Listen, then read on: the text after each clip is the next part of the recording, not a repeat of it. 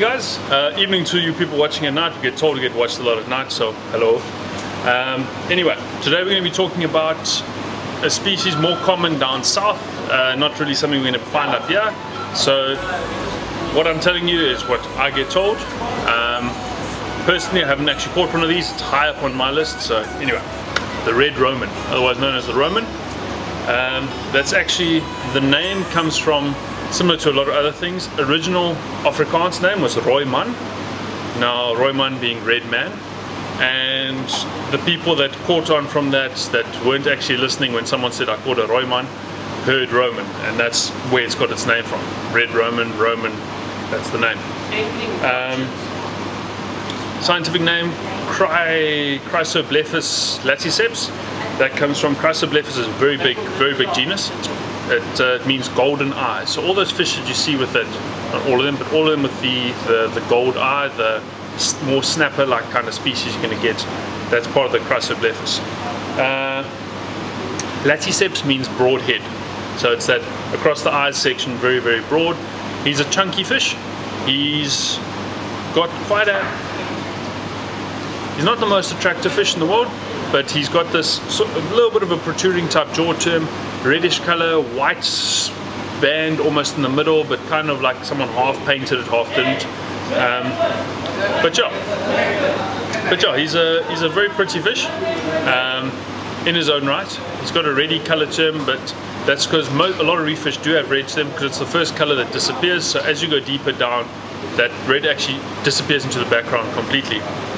Now, this is another endemic species, like we mentioned. Endemic means only found in this area. Um, so it's our responsibility to, to keep them safe. And you're going to get them all the way from Namibia up to Port St. John's, but they're quite rare on that west coast area. They're really more that Cape Town, Southern Cape, that kind of that kind of area. Um, now, when it comes to catching them, um, they're resident species. They like sitting on the reef from shallow all the way down to about 100 meters. So it's really one of those species that you can catch from the side um, with the Cape, it's not like up here in Natal where you got these long shallow areas. That's more of the beach type stuff. But the rocky areas you're getting, you're going straight down into deep water, 20 meters. So you, everyone has access to these fish.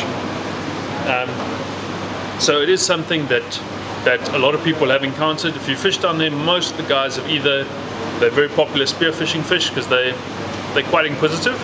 They're popular with the ski boat guys and they're popular with the shore-based guys. Now, in terms of what they're eating, your echinoderms, so your starfish and kind of stuff, your cephalopods, your squid, your um, octopus, that kind of thing, and then your smaller fish. They're not really a fish-based uh, species. They're not. That's not their main target. They're more of the slower species. They're not actively hunting. So maximum size, you're looking at about 17 years. Similar to a lot of reef fish, they are do grow to quite old and that's going to be yeah 17 17 to 19 years you can say they're they're thereabouts.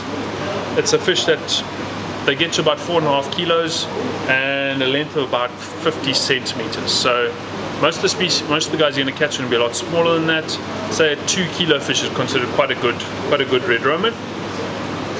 Um, as we mentioned everything from 100 meters shallow so they are caught by the deep uh, offshore guys, they're caught by the shallow water guys, they're caught by the guys fishing on the from the side, and they are caught um, or speared by the spear fishermen. It's probably one of the most most targeted species other than kabeljou uh, down in the Cape. Now, they they don't move a lot.